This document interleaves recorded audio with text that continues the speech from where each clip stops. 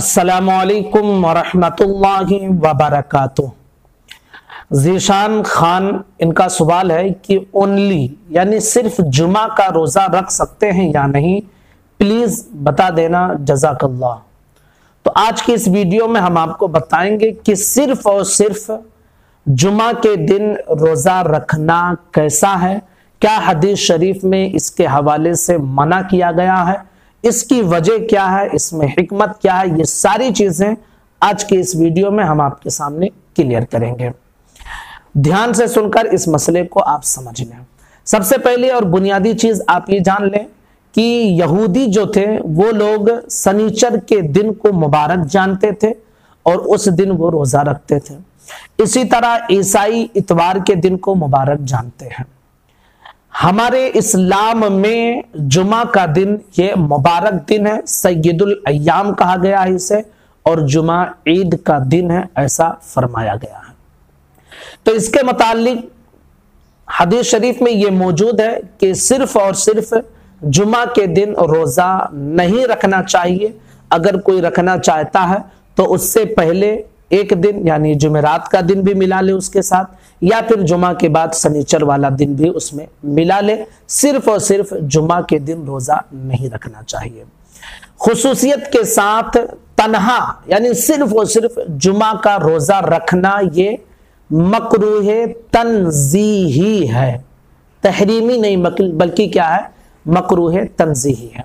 सिर्फ़ और सिर्फ़ अगर कोई तनहा जुमा के दिन रोजा रखे।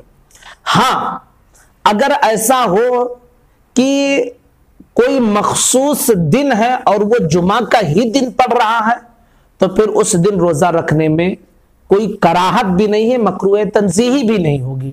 जैसे कि जुमा का दिन है और 27 रजब हो रहा हो, जैसे कि इस मरतबा 2021 में है कि जुमा का दिन पड़ रहा है और 27 रजब है। तो आमतौर पे इस दिन अहल सुन्नत वल जमात के लोग रोजा रखते हैं। तो अब ये ख्याल रखना कि सिर्फ़ जुमा के दिन रोजा रखना ये मना है। तो अब ये मना नहीं आएगा क्योंकि आप वो रोजा जो है सत्ताईस रजब का रख रहे हैं और इत्तेफाक से वो जुमा का दिन पड़ रहा है। इसी तरह जैसे योम अरफा, नौ जिलहिज्जा का रोजा रोजा रखते हैं लोग। अब वो अगर जुमा के दिन पड़ जाए तो क्या करेंगे? नहीं रखेंगे? रखेंगे। क्योंकि वो नौ जिलहिज्जा का रोजा आप रख रहे हैं और वो इत्तेफाक से जुमा का दिन पड़ जा रहा है तो फिर इसमें कोई हर्ज नहीं है। जुमा के दिन रोजा रखने से कब मना किया गया है? तो इसके मुतालिक आला हज़रत रज़ी अल्लाह तु फरमाते हैं कि जुमा के दिन रोजा रखना हर सूरत में मकरूह नहीं है। मकरूह सिर्फ़ उस सूरत में है जब कोई सिर्फ़ और सिर्फ़ खास और खसूसियत के साथ जुमा का रोजा रखे कि जैसे वो लोग मोहतरम समझकर उस दिन रोजा रखते थे, ईसाई और यहूदी लोग, ऐसे ही जुमा की अजमत को बरकरार रखते हुए कोई खास सिर्फ़ और सिर्फ़ जुमा का रोजा रखे तो इससे मना किया गया है।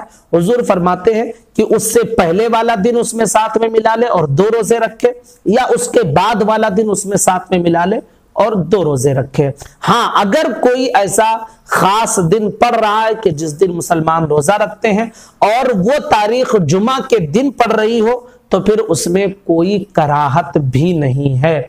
और याद रखिए कि अगर कोई सिर्फ़ और सिर्फ़ जुमा को रोजा रखता है तो वो भी कोई तहरीमी वाली बात नहीं, बल्कि तंजीही है।